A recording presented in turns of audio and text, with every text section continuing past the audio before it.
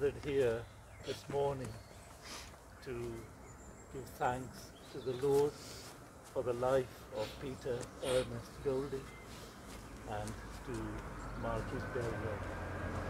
Uh, as you can imagine, as a pastor, I preside over many, many funerals. And a Christian funeral is always a mixture of joy, but also sadness. Death has once again visited a family.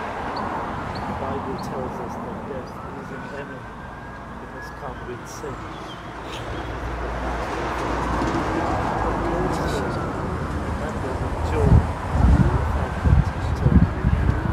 the Jesus walked with him for many decades, had served him with great distinction for many decades.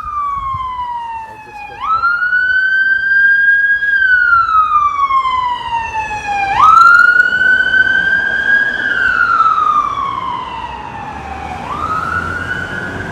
was a wonderful example of a Christian husband and how beneficial it was for visiting him, going to him, taking his advice, praying with him. The very last time I was with Peter in Fletcher, I read Psalm 103 and he said to me that he would read this psalm regularly. In fact, he said every Sunday uh, to the church for morning service, uh, he would through this psalm because it is a psalm that reminds us of the grace and the mercy of God to us as His people.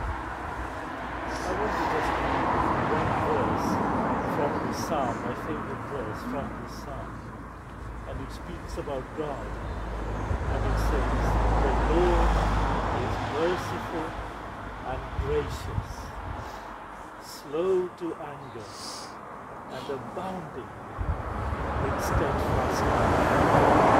Lord merciful gracious, slow to anger, and abounding in steadfast love. And the Bible speaks about the love of God, and the Bible says that God doesn't just speak about love, but the, the Lord acted in love and sent His Son, the Lord Jesus Christ, to be our Savior. The reason why, in some ways, we can rejoice today is that Peter is with the Lord. And that's a wonderful thing to know the love of God without any hindrance of sin, and to enjoy fellowship with God, and to enjoy the grace of God, and to know all the goodness and the mercy of God without sin in any way spoiling it. Uh, that's a wonderful thing. Praise God for that. Let's come to God in prayer. Let's pray. Our God and our Father, we thank you for the truth of what we've just read this morning. The Lord is merciful and gracious, slow to anger, and abounding in steadfast love. Our Father, we thank you that these are true words, and we know they are truth because you have, Lord, acted in love. We thank you for your Son, the Lord Jesus Christ. We thank you that he came to die for us, to take our sins upon himself. We thank you we can know the forgiveness of sin and the sure hope of heaven. Our Father, as we gather this morning, there is sadness in our hearts. We've lost one who will will lives, one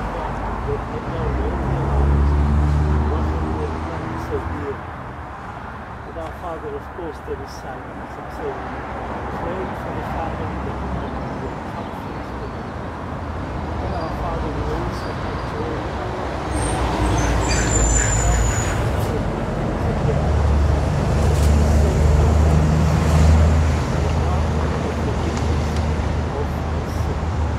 We thank you, Lord, that you walked with every soul. He was a wonderful example of a Christian. We thank you that He is with you in heaven today. We know this is real. These are not just words, but He really is there with you, enjoying your love and your grace and basking in the wonders of God. So, Lord, we pray now as we have this brief service, this is pray for the blessing to rest upon us. In Jesus' name. Amen.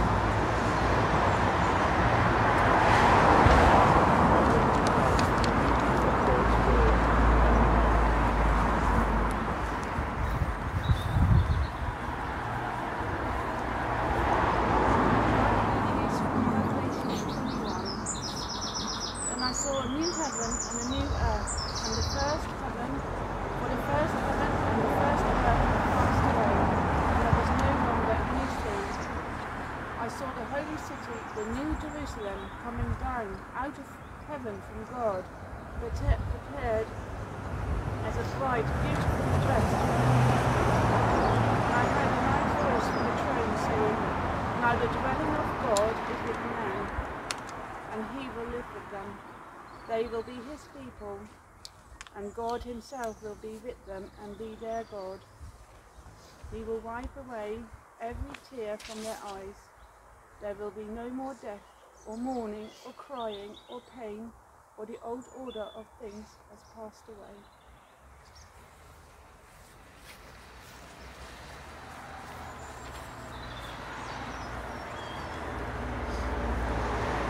One of my earliest memories was Dad's late annual homecoming on the Leicester Ministry Conference. I remember the anticipation and then the joy when the crowd brought up.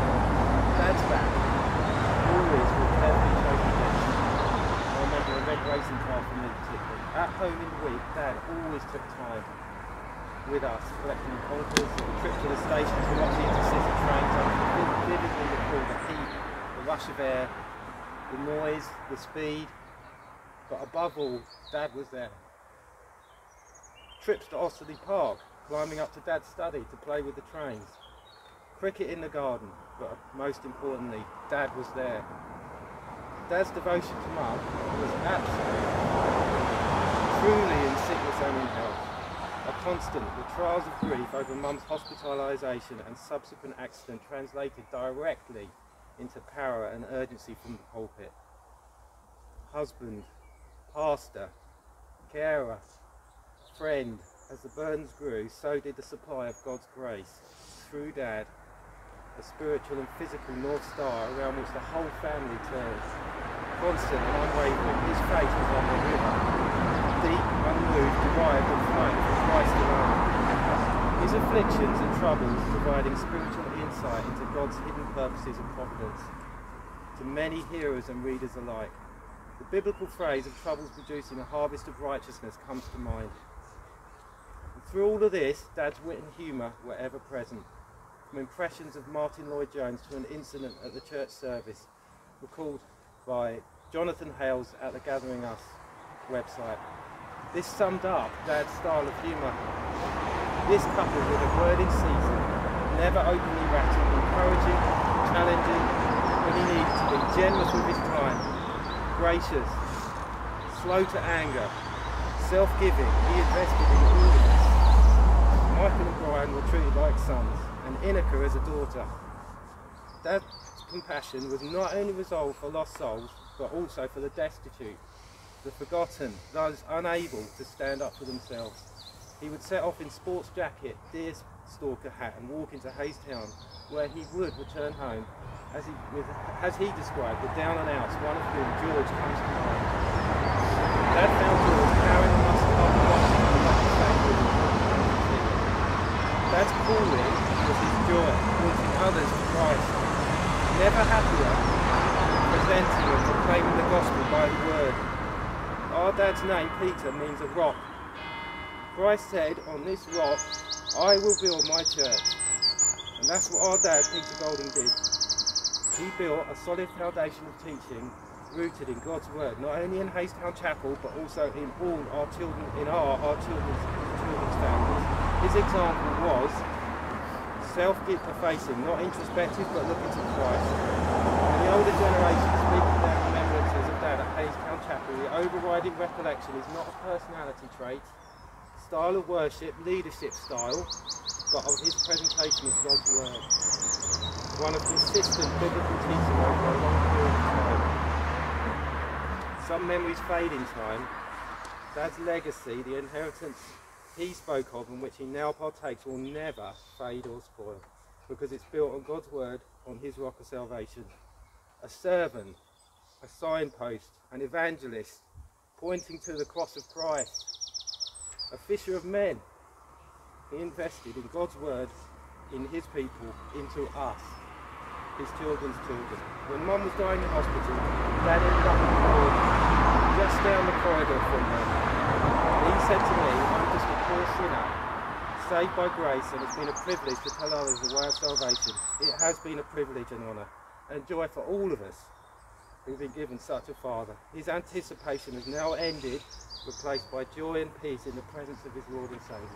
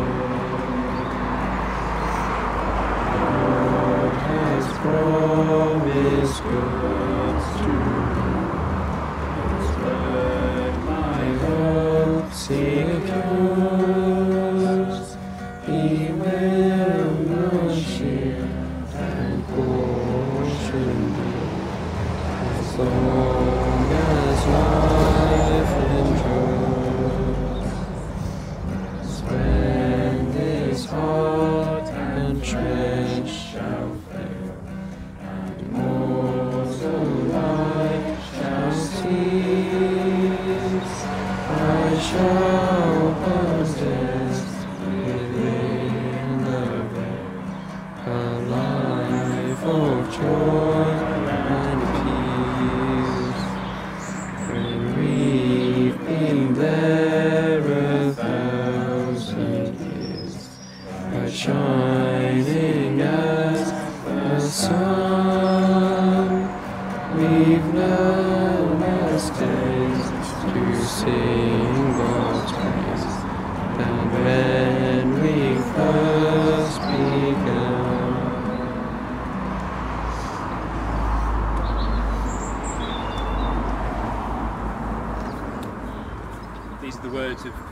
David Golding, Peter's brother. The Reverend Peter Golding, a remembrance and tribute. A life in which courage, perseverance and faith triumphed over great adversity. Peter's life is one in which remarkable, multifaceted achievement in the face of great adversity marked his middle years, bracketed in his childhood and old age by prolonged periods of severe infirmity and pain. Most of the first 20 years of his life was marred by severe chronic asthma, which resulted in his leaving school at the age of 16 without qualifications. At that time, his height was barely five foot. He stopped growing, and he weighed, I seem to remember, about five stone. He got a job with Harrods in their removals, shipping and storage department at Barnes overlooking the Thames and during the first year missed one day in every three due to being prostrated by his illness. Then an extraordinary development took place. Our parents had prayed without ceasing for Peter and also tried every possible remedy brought to their attention, diets, etc. But about this time they noticed an advert in the newspaper for International Help for Children, a small charity which organised visits each of three weeks for youngsters living with asthma and eczema to La a small a spa town in central France. They scraped together the funds required and Peter duly travelled with the group by train and ferry and stayed at La Maison des Enfants. It was, of course, one of the oldest of Les Enfants. Returning home, Peter was laid low for a month with one of the worst attacks he's ever experienced. After which, he didn't miss a single day of work in the next year and grew another four inches.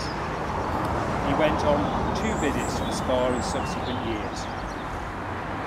The author is a biological scientist and usually views alternative medicine with a somewhat jaundiced, jaundiced eye, but vouches for the truth of this remarkable deliverance which the whole family thanked God. Granted, Peter was one of the charity's superstar patients, but he was not the only one, and La Bourboule has a reputation within France for le cure. We had been brought up by committed Christian parents in a Pentecostal church, but in his late teens, Peter was struggling with his faith. But then a change was seen in his life as significant in the spiritual sphere as that which marked his physical well-being. Invited to attend Westminster Chapel during the heyday of the ministry of Dr. Martin Lloyd-Jones, Peter was captivated by what he heard, with respect to both its intellectual depth and the passion of its oratory. Not for nothing did the eminent continental theologian Emil Brunner describe the doctor as the greatest preacher in Christendom. And Peter became a different person, clearly seeking to follow the Lord in his everyday behaviour. In one respect, he never changed. Just like William's dog in the Just William stories, which we both enjoyed, he would never leave a fight, an argument, while there was anyone left to fight or argue with. Later, it was at the chapel that Peter met Hilary, and it was a love match from the start. They married in July 1962. Despite the more than six years difference in our ages, Peter and I became good friends during his early 20s. First and foremost, I count the great heritage of the Reformed faith to which Peter introduced me as one of the formative influences on my life. We went on camping holidays together.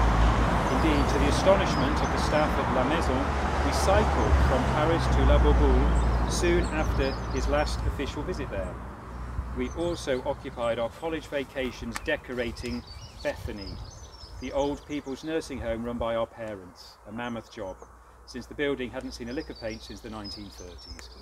Peter also had a big influence on the faith of our younger sister, Margaret. Our relationship was not without its strains.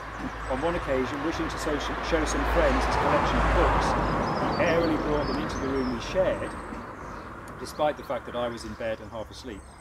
Embarrassed and furious, I leaned out of the window as he was saying goodbye to them downstairs and poured a jug of cold water on his head. I barricaded the door to avoid having to face the full force of his wrath. On another occasion, he agreed to look after a newly established bed of strawberry plants whilst I was away at university. Forgetting all about this until the day before my return two months later, he decided the best thing to do was to clear the beds, plants, weeds and all. Hugh Roth from the younger brother.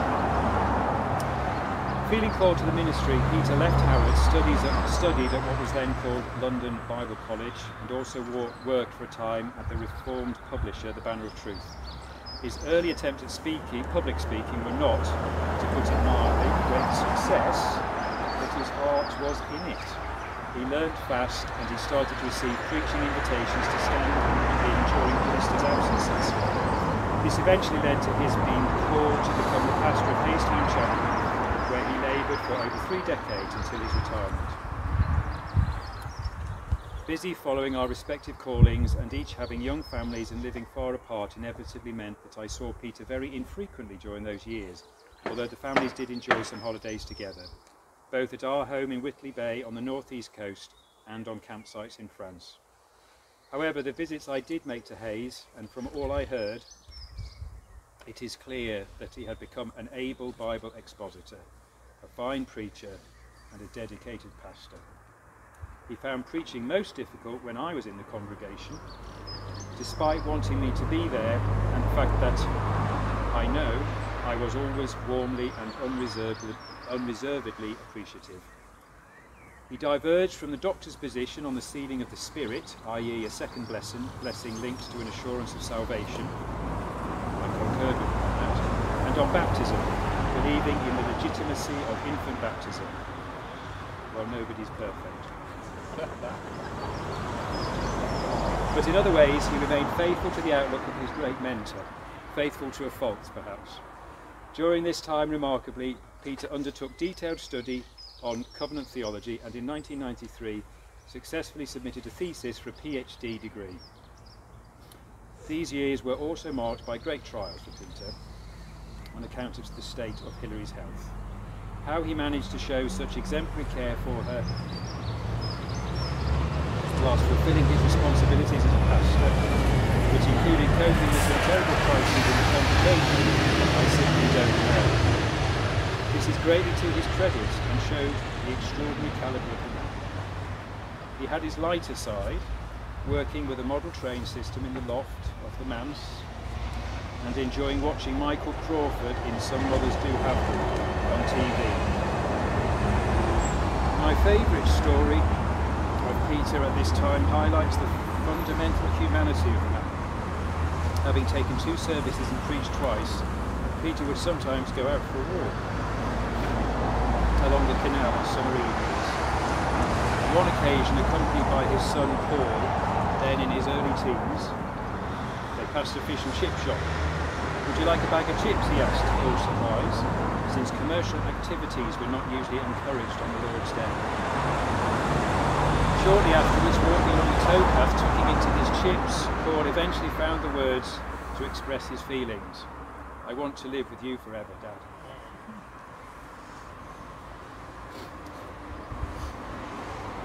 But of course, that was before Paul met him.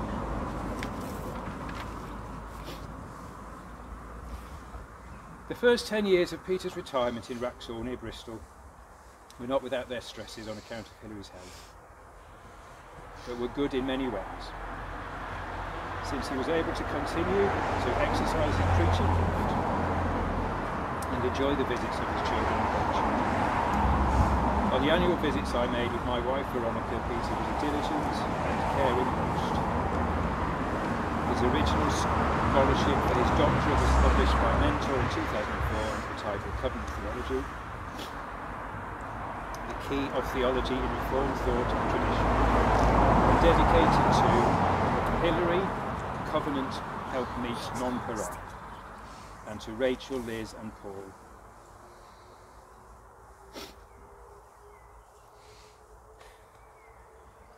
True children of the covenant.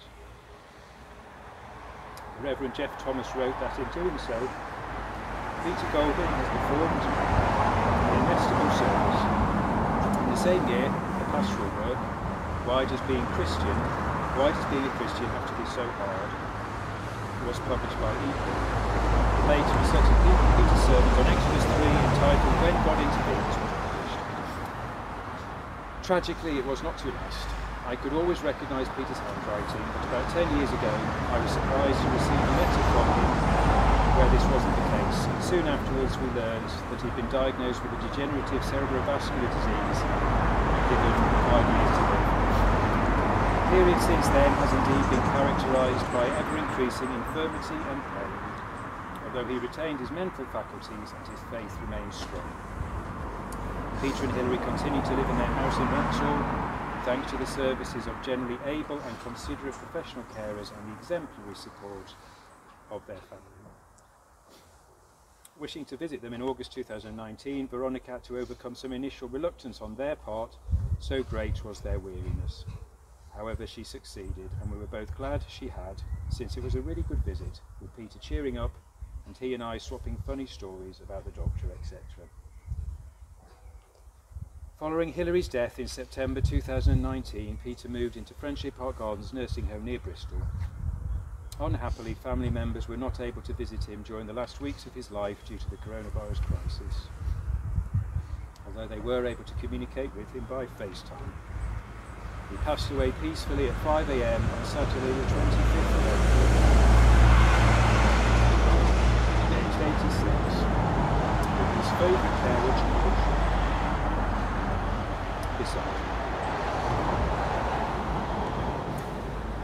So he passed over, and all the trumpets sounded for him on the other side. And that's Mr. Valiant for Truth, the Pilgrim's Process, Progress, John Bunyan, whose faith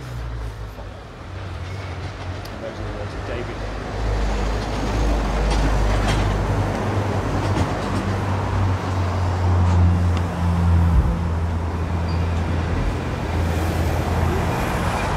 I'm going to read from the first question and answer from the Heidelberg. What is your only comfort in life and death? That I am not my own, but belong with body and soul, both in life and in death, to my faithful Saviour, Jesus Christ. He has fully paid for all my sins with his precious blood, and he has set me free from all the power of the devil. He also preserves me in such a way that without the will of my heavenly Father, not a hair can fall from my head. Indeed, all things must work together for my salvation. Therefore, by his Holy Spirit, he also assures me of eternal life and makes me heartily willing and ready from now on to live for him.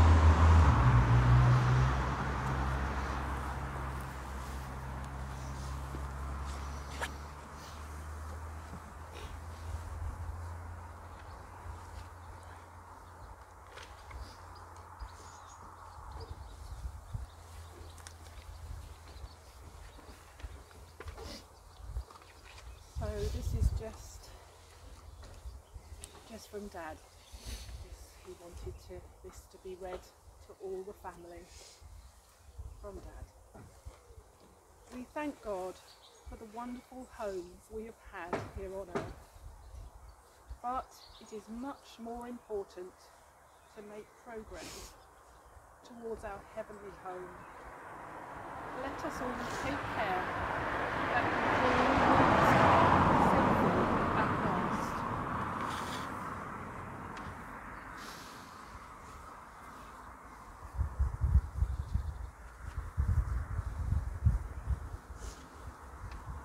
We're going to pray and then I'll pray the committal prayer. Let's pray together.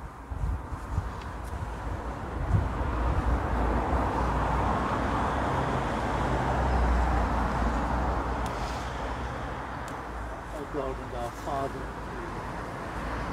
we thank you for this very moving tributes that we've heard. We thank you, Lord, for your grace, for your goodness, and for your love to Peter. What a lovely thing to hear, Lord, about his life. And to hear especially that you were at the center of his life, that he loved you and walked with you. Thank you for your grace towards him, Lord. Thank you for the way that you saved him. And thank you, Lord, for the way that you kept him all those decades. A life in many ways full of trials, all trials, many of us And yet you maintained his faith, Lord. We thank you for that. You enable him to grow, you enable him to serve, you enable him to pour out love upon others. We thank you, Lord, for this brief time with his life. Above all, your love, your grace for him. We want to pray for the family. Remember the words of the Lord Jesus, that he will not leave us as orphans, but he will send to us another comforter.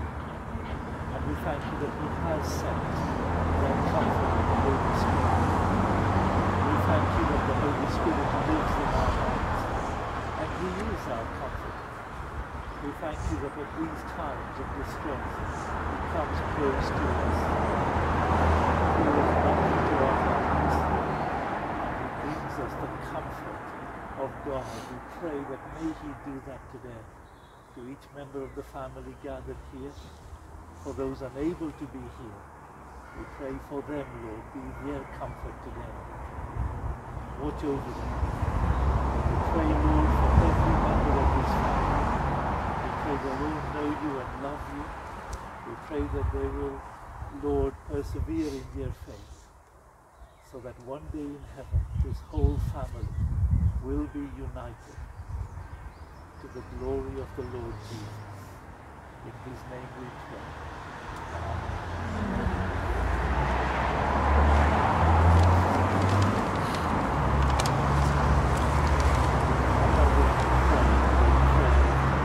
Let us pray together.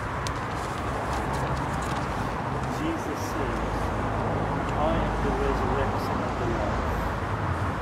Whoever believes in me, though he die, yet shall he live.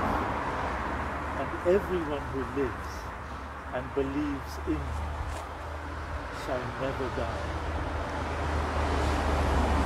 since we believe that Jesus died and rose again, even so through Jesus, God will bring with him those who have fallen asleep. It has pleased Almighty God in his infinite wisdom and grace to take Peter Ernest Golding to be with him. We therefore commit his body to earth to earth, ashes to ashes, dust to dust, in the sure hope of his resurrection to eternal life through Jesus Christ our Lord. Amen.